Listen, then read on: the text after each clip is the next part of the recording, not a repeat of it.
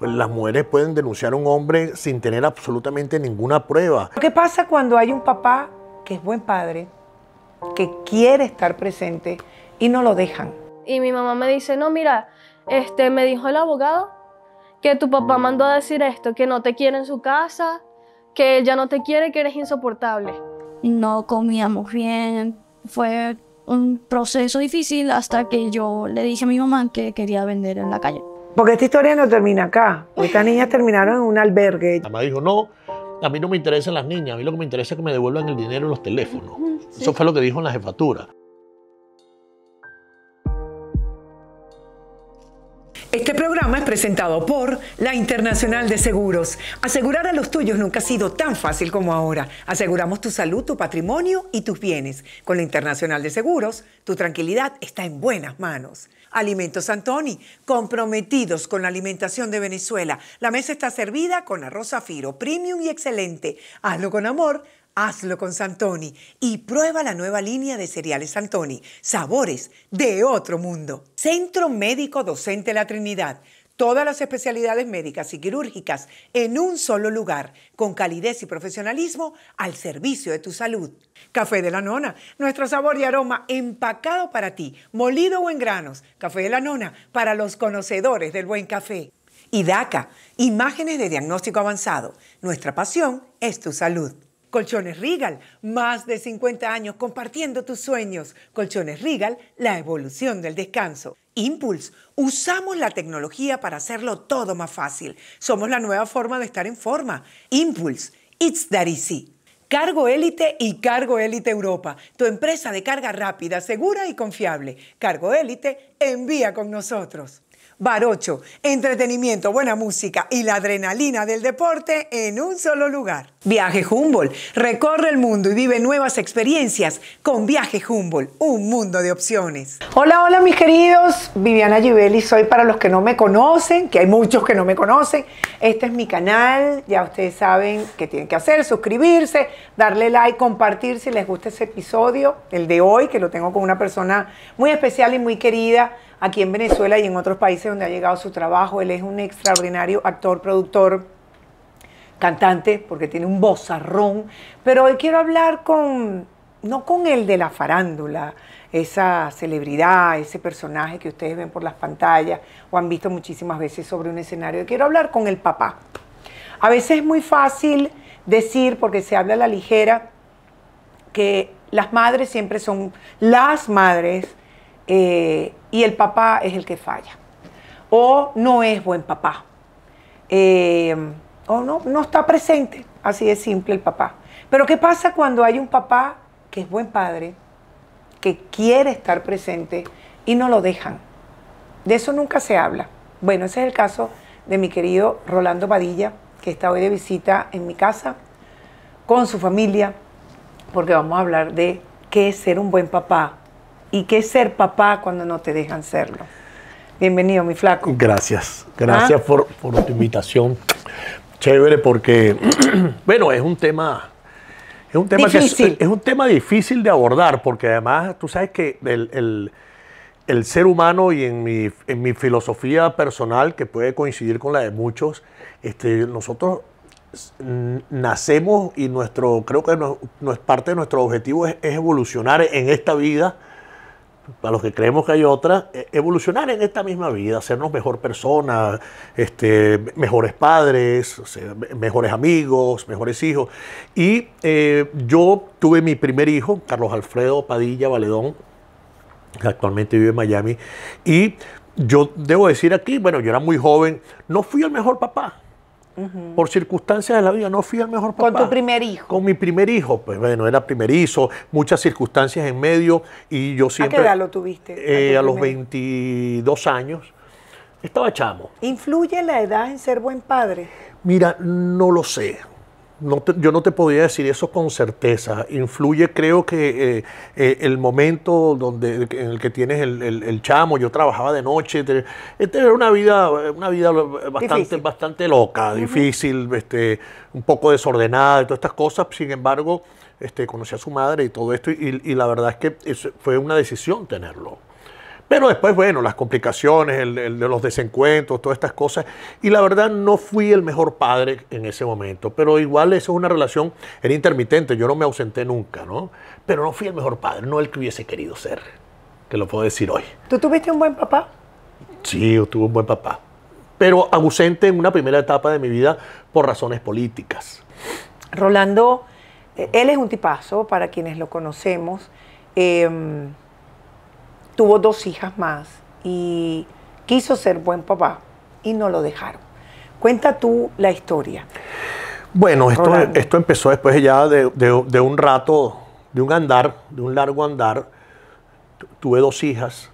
Eh, yo en, en mi, en mi búsqueda de siempre de tener una familia, porque en el fondo era eso. Me he casado cuatro veces. o sea, No importa, es un buen tipo. ¿ok?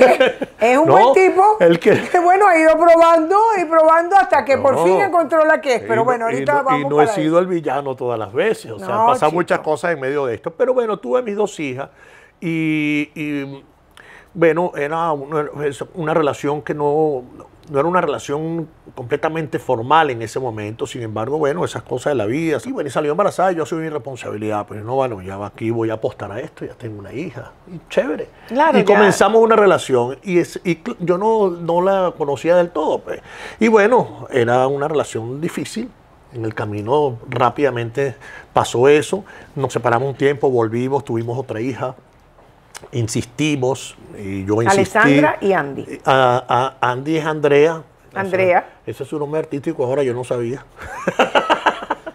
este, Andrea y Alessandra. Primero Y Andrea y luego Alessandra. Pero de todos modos eso se hizo verdaderamente insostenible por, por distintas razones. Este, después entendí, eh, como mucha gente, que ella tenía una condición que no fue atendida a tiempo. ¿No? Era una- un, carácter muy explosivo, una cosa este, terrible, y eso este, fue redundando en una situación con mis niñas este, difícil, este, habría maltrato, una cantidad de cosas en por medio. Muy ¿cómo- fuertes. ¿cómo, ¿Cómo te diste cuenta, por ejemplo, que en ese hogar había maltrato? O sea, porque estaban aquí todavía. Eh, sí, pero eh, lo que pasa es que cuando yo las visitaba, que era cuando ella lo permitía, cuando simplemente ella lo permitía, porque no había manera ni legal, ni no había ninguna forma, a pesar de que yo tenía un régimen de visita, el, el regular, cumplía con todas mis obligaciones.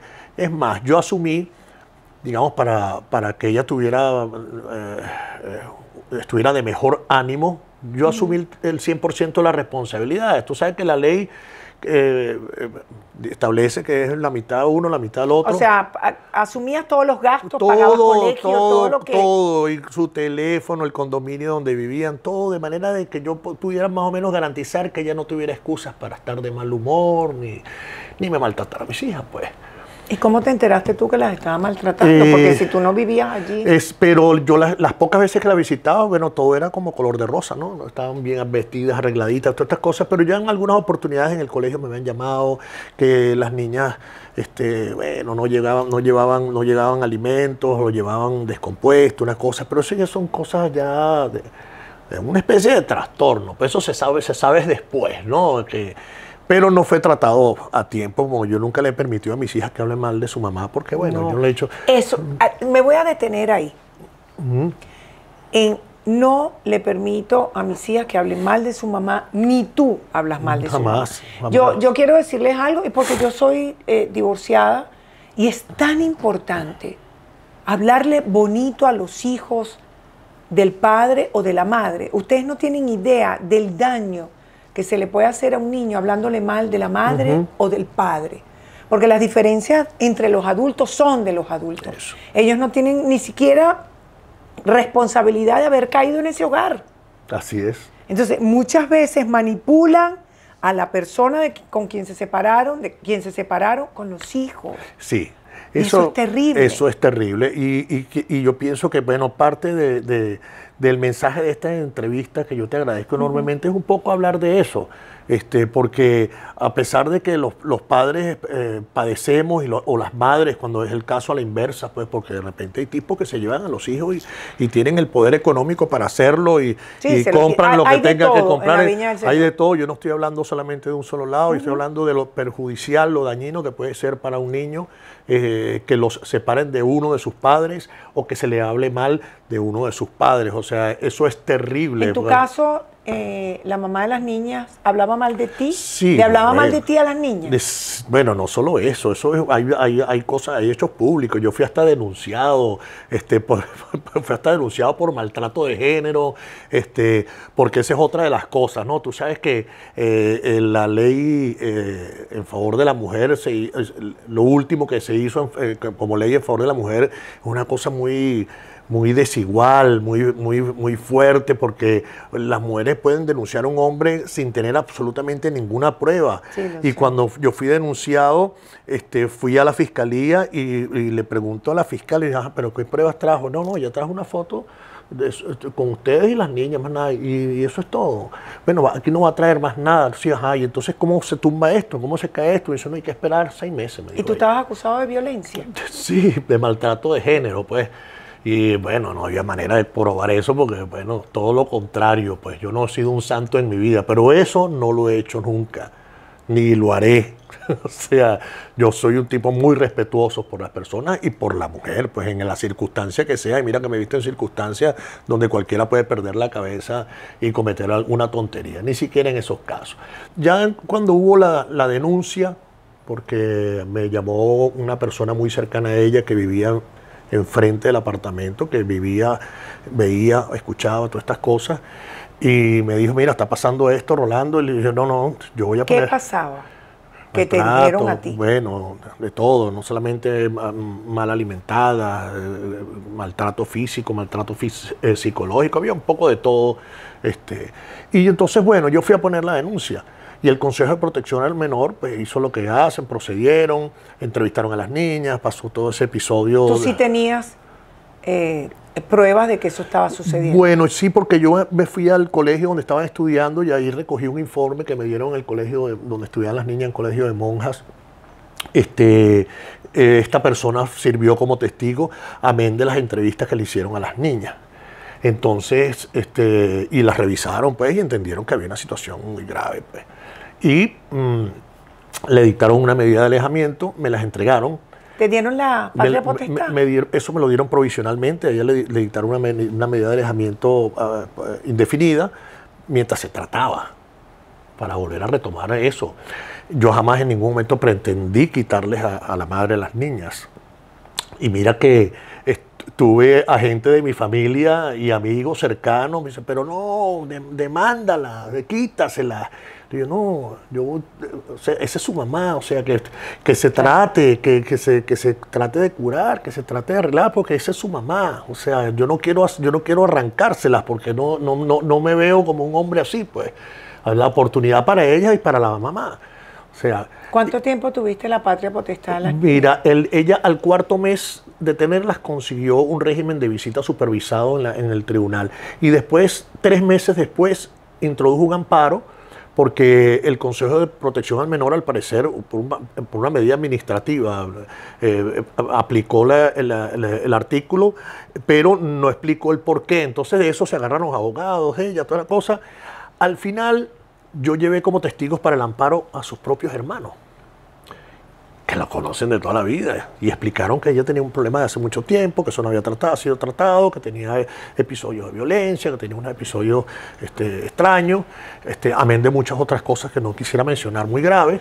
Este, y sin embargo, el juez consideró que no era lo suficientemente grave como para quitarle la patria potestad a la guardia y custodia y se las dio. Y te quitaron la patria potestad y se la volvieron a dar a En ella. ese momento, ese diciembre. ¿Qué todo- pasó después? O sea, Bueno, yo... eh, regresaron las niñas con su mamá. regresaron las niñas con su mamá. ¿Y tú dónde Mi- estabas? Mi, O sea, ¿qué anterior, con- yo estaba con mi anterior pareja. Este, que fue muy gentil en, en- en aceptar eso porque ella la entrevistaron, entonces bueno, tu- estuvimos las niñas y, y empezamos a cuidarlas, bueno, ya todos, y la- eh, la- educarlas. Cuando me las quitan de nuevo, la- me, me, me, me- dice, tienes que inscribirla en el colegio más cercano, nosotros te vamos a dar un- una autorización, una cosa para que te den el cupo de las niñas para que tú las puedas supervisar. Eso sí me lo concedieron. Y, y visita sin ninguna restricción a la hora que yo quisiera. Podían irse contigo como regularmente un fin de semana la mamá, un fin de semana y tú. yo o así. podría ir a la casa en el momento que yo lo considerara para supervisar todas estas cosas. Y, es, y ella tenía que estar bajo supervisión del, del equipo multidisciplinario de- del tribunal, de que- los que llevaban el caso. Y a partir de ese momento empezó como el trabajo, ¿no? La mayor era más difícil de manipular, siempre fue como muy rebelde porque ella, no sé, siempre tuvo una relación muy difícil con la mayor, con Andrea. Pero Alessandra era muy pequeña, entonces la agarró para ella. Entonces era la, la manipulación, bueno, yo las iba a visitar al colegio, yo me asomaba por la ventanita del, del salón para ver cómo estaban todos los días del mundo. Y las niñas me decían así, que no, que me fuera. Y después, Ellas te decían, no, Claro, no- no que me fuera, que no querían verme porque es que la mamá les había dicho que ella tenía cámaras en el colegio para y las vigilaba si me saludaban, me daban un beso o lo que no, fuera. mentira. Bueno, sí, eso, eso sucedía. Sin embargo, yo con el tiempo, yo iba, en el colegio sabía exactamente todo lo que estaba pasando, los supervisores, la maestra, la directora, la psicólogo del colegio. Ellos, ellos todos estaban claros lo que estaba pasando y me ayudaron muchísimo. Yo las veía escondidas, sabía que estaban bien, cómo iban en los estudios.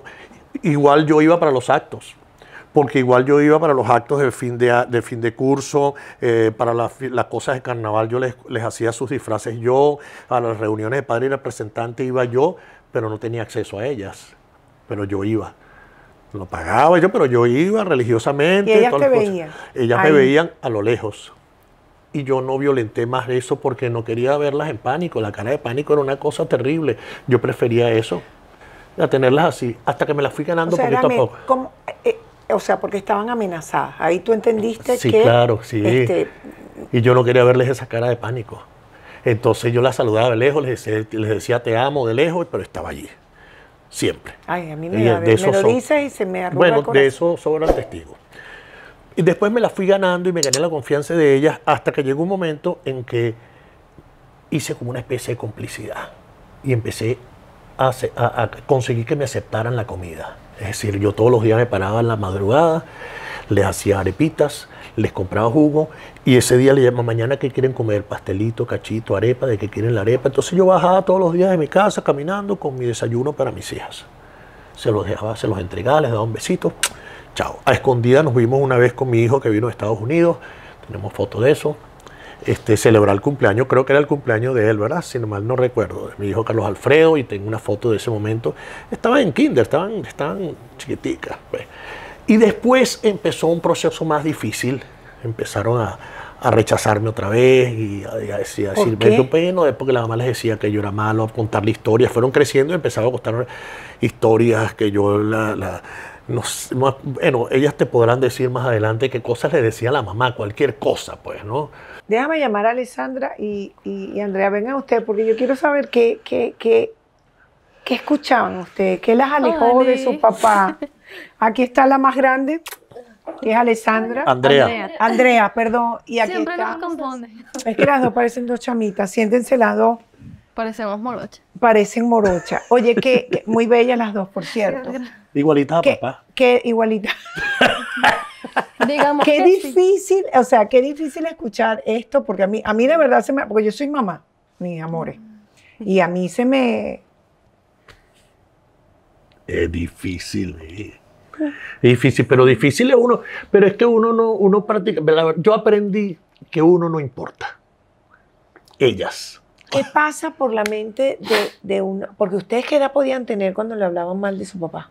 Éramos muy pequeñas. Literalmente estábamos en kinder o en primer grado. ¿En qué momento ustedes empezaron a tener conciencia de que lo que les decía su mamá no era verdad en relación a su papá? Yo. Hace menos de un año. sí, bueno, ella, ella. ella, Hace porque- menos de un año. ella. Más o menos. Sí, hace menos. Ella sí, porque yo siempre tuve conciencia, porque yo siempre tuve una mejor relación con mi papá. La verdad, no, no sé por qué.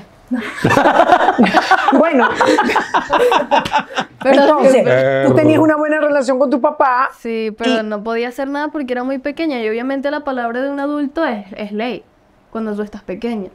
Entonces yo no podía contradecir a mi mamá, no le podía decir, no, yo voy a estar con mi papá, yo lo voy a ver, porque entonces la locha me caía a mí. O Y tú no, no, no decías nada. Lo que pasa es que yo en ningún momento me permití dudar, o sea, tampoco, ¿por qué lo iba a hacer si mi mamá es mi mamá? O sea, ¿por qué tengo que dudar de lo que dice mi mamá?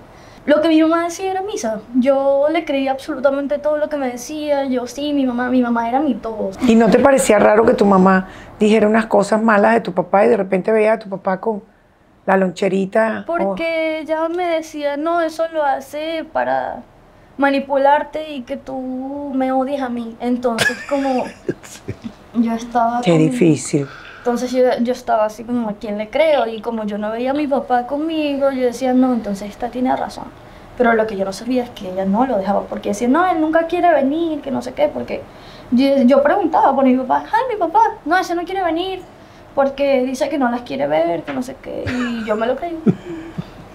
Este, yo, Bueno, pero aquí hay bastante. Esa- Mira, eh, si, no es, si no es porque hay tanto testigo alrededor de esto, gente que lo entendió, gente que me apoyó, sus tíos, los hermanos de su mamá, ellos, su familia, ellos saben todo esto. Ahora, lo fuerte de toda esta historia es que ustedes, o sea, de un momento a otro, ustedes se fueron a Perú. Se las Hace llevaron a Perú. Hace seis años se fue a trabajar con, con su pareja a Perú, que es su pareja desde hace ese tiempo casi. ¿no? Ajá. ¿Y cómo salió del país sin permiso? No, yo les di el permiso, no tenía otra Ah, opción. tú le diste el permiso. Claro, yo les di el permiso, pero es que no, no tenía opción, yo no le podía negar eso. Es que yo Pero no es que podía legalmente tú tenías, tú, tú no tenías respaldo legal. La verdad es que yo entendí que era muy difícil, no solamente porque la ley es bastante arbitraria, ¿no? Esa cosa de favorecer a, a la mujer per se, aunque los hijos en un momento determinado o en algún caso, en algunos casos, los hijos sean víctimas de maltrato, de víctimas bueno, la separación del papá, porque estaba tomando los hijos para vengarse. O sea, es muy arbitraria la ley. Ojo, yo soy mujer, ¿ok? Soy pro mujer, pero también soy pro buen padre. Entonces, sí, porque eh, de repente la gente se pone intensa, ¿no? Yo Sí. estoy a favor de todas las leyes que salgan en beneficio de la madre, pero sobre todo de los hijos. Eso. O sea, es que pero tiene es- que haber un buen equipo que determine esa situación, e- eso que está dentro. Y bueno, obviamente, pues siempre hay manos peludas, porque ah, eso, Sí. eso lo sabemos todos. Sí, Entonces, también. Entonces yo, yo, me, yo, yo me, me vi un momento, me vi atado de manos. Dije, bueno, yo no, no puedo hacer nada. Y, se las llevaron a Perú. y, y claro, yo, y yo firmé mi autorización. No pasó nada. Pues, chévere, pero para ese momento ya Alessandra tenía como 10 años que, no me, que yo no tenía contacto con ella. Yo estuve condenado en las redes, yo no tenía comunicación. Yo sabía de manera indirecta de mis hijas, sabía que estaban bien, porque en algún momento, en alguna de, los, de las tantas cuentas que tenía la mamá, ellas tenían algunas, pero todas estaban intervenidas por la mamá, los teléfonos, las cuentas, Instagram. ¿Desde acá de, eh, de- en Venezuela o en Perú? En Perú. También. ¿Qué pasó en Perú? ¿Ustedes llegaron a Perú? Bueno, Es que no antes de eso, yo, este, yo tardé en ir a Perú, yo tardé, ¿cuánto fue? Como 12 11 meses, meses. 11 meses y medio más o menos. Porque cuando mi mamá dio la noticia de, ay, nos vamos del país, para mí no era una buena idea. Mm. Y yo lo que no quería era alejarme tampoco ni de mi colegio, ni de mis amigos, ni, Ni de, de mi tu papá. papá. Exacto. y ese día yo, un día antes, yo le dije a mi mamá, yo no me voy contigo, yo no me quiero ir. Y ella me dijo, bueno, entonces agarras tus cosas y te vas con tu papá. y yo, ah, bueno, gracias, sí. Pero resultó que no, que era como todo lo contrario, pues era como que, ah, tú quieres, pues no te lo voy a dar. Me dijo que no, y entonces yo agarré nada más mis cuadernos, me fui al colegio el día siguiente, y yo llamo a mi papá como a las 11 de la mañana, le escribo el teléfono de una amiga. Y le digo, mira papá, este, mi mamá nos quiere sacar del país, yo no me quiero ir, por favor venme a buscar al colegio, antes de que ella venga. Y mi papá me dijo, bueno hija, vamos a resolver esto, a ver cómo, porque es, es, un- es un problema, pues. Y entonces ya me fui con él, me fui con él un año, 11 o un- 11 un- meses, un- un año. eh, como un año. Ah, no Antes- se fueron a Perú. El o, tú el- sí te fuiste a Perú. fue. Entonces yo Ah. puse como condición, sabiendo cómo, cómo era, cómo es la otra parte de, de- de- de complicada y que de astuta. Entonces dije, mira, yo, yo te autorizo que te lleves a Alessandra, pero tú me dejas a mí lo- todos los papeles de Andrea. Y funcionó.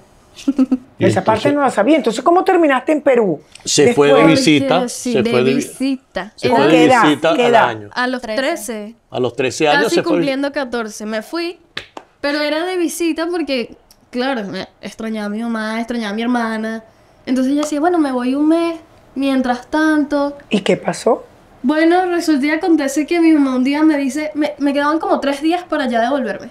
Y mi mamá me dice, no, mira, este, me dijo el abogado que tu papá mandó a decir esto, que no te quiere en su casa, que ella no te quiere, que eres insoportable.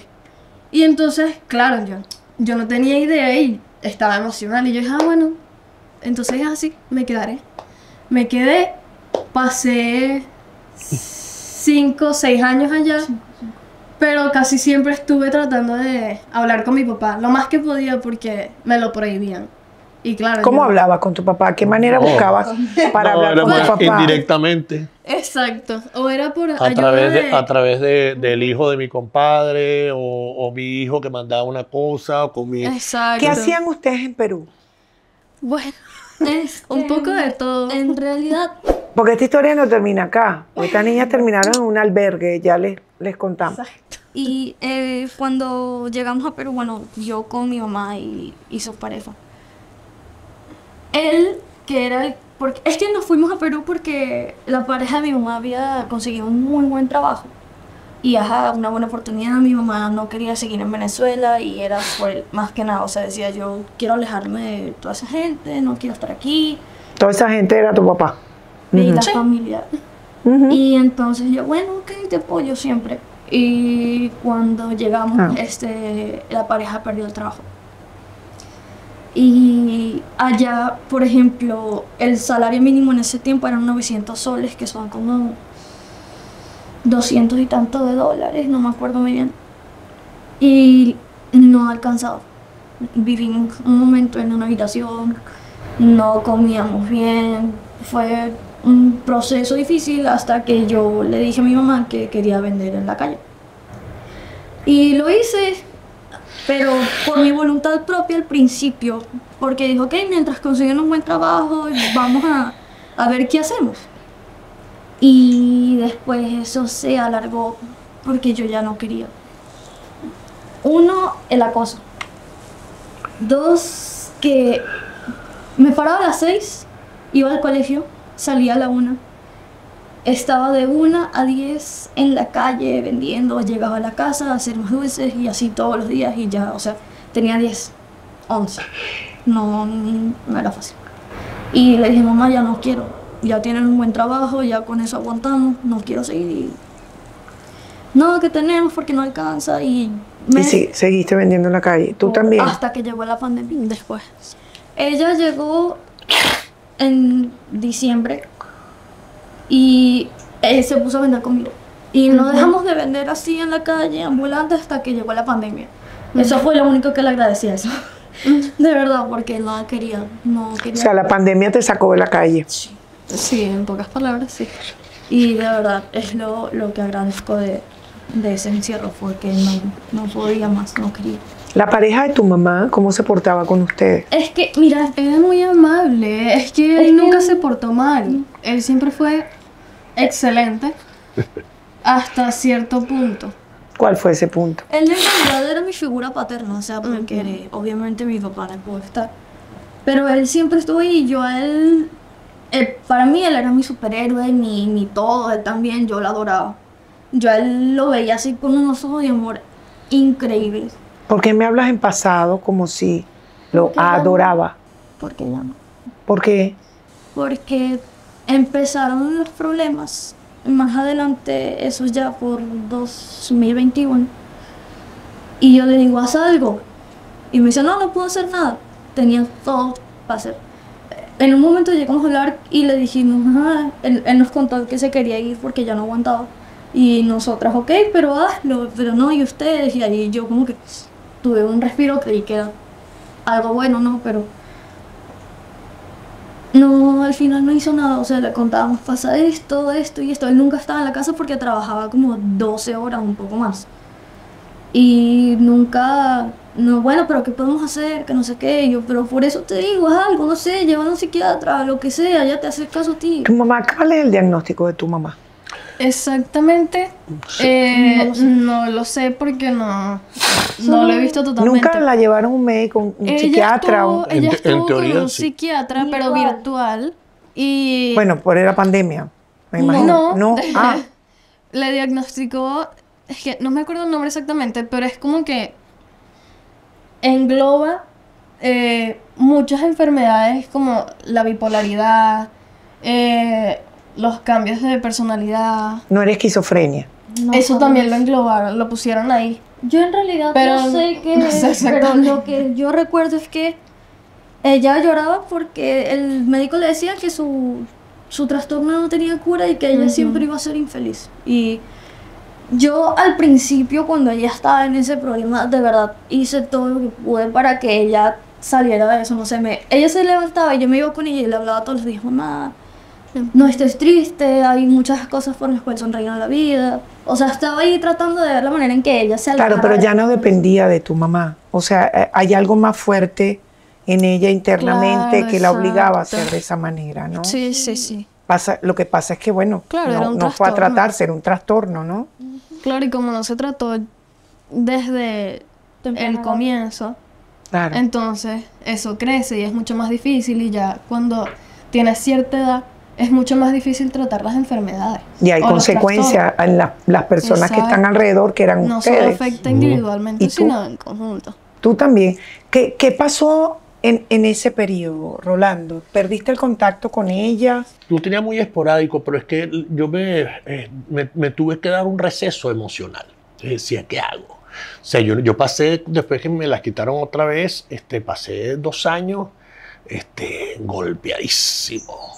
Golpeadísimo. En el primer, cuando me las quitó el- el- en, el, en el amparo, me, se las devolvieron a la mamá, yo pasé dos años malísimos, no porque no iba a tener a mis hijas, sino porque las estaban devolviendo a ese ecosistema, eh, básicamente, a sufrir. Después, este, otra vez empezar como a, a- a pedalear desde cero otra vez la cuesta, a, a tratar de ganármelas para poderlas ver en el colegio, con todo eso que ya te conté, este, y después a padecer el rechazo de ellas ya eh, no tanto, no, o no solo por, por, la manipulación, sino porque por los, por los cuentos, por las por la, por la historia que tenía en su cabeza de su papá, que no era real, pues, ¿no? Todas las cosas que le fueron metiendo ese, ese veneno en la cabeza. Este, y después que se fueron, yo estuve bloqueado por todos lados y no había manera. Muchas veces, las, las primeras veces que yo me pude comunicar con Andrea, eh, inmediatamente conociéndola, eh, sabía que era ella la que estaba respondiendo y no Andrea. Entonces era, era inútil. Ah, respondía la mamá. Todo, no todo, en Facebook, los teléfonos, las cuentas, todo respondía a la mamá haciéndose pasar por ella. Entonces no había manera. Entonces yo dije, yo necesito descansar. Y me tomé como una especie de receso. ¿Y nunca te dio por irte a Perú a buscarla? no, o- no puede hacer nada. Es que eso no, no iba a poder hacer nada. O sea, no, no, voy a poder- no, no, ni, ni, ni sabía ni dónde vivía, ni cómo llegar. O sea, podía hacer eso, pero era dedicarme un año a eso, o sea, sin dejar todo Y para... ustedes se preguntarán cómo es que después de esta historia ellos están aquí sentados y recuperó a sus hijas después que se las quitaron. ¿Cómo pasó eso, Rolando? Ustedes no tienen idea del daño que se le puede hacer a un niño hablándole mal de la madre o del padre. ¿Qué te hizo irte entonces? Mi mamá me metió pastillas en la comida. Y no dejamos de vender así en la calle, ambulante, hasta que llegó la pandemia. Eso fue lo único que le agradecí a eso. De verdad, porque no quería, no O quería. sea, la pandemia te sacó de la calle. Yo le dije a Andrea, vámonos, vamos. Tenemos que irnos y ya teníamos planeado nuestras cosas. Y horas antes de escaparnos, la mamá de mi mejor amiga la llama a mi mamá. Mira, yo no voy a hacer nada que esté en contra de su voluntad, les dije. Vamos a hacer esto. Vamos a, a enfocarnos en que salgan del albergue. Qué difícil escuchar esto porque a mí, a mí de verdad se me... Porque yo soy mamá, mis amores. Y a mí se me... Listo. Te solucionaron No, todo. me dijo, me encantó verte, Rolando. Te vas a llevar a tus hijas.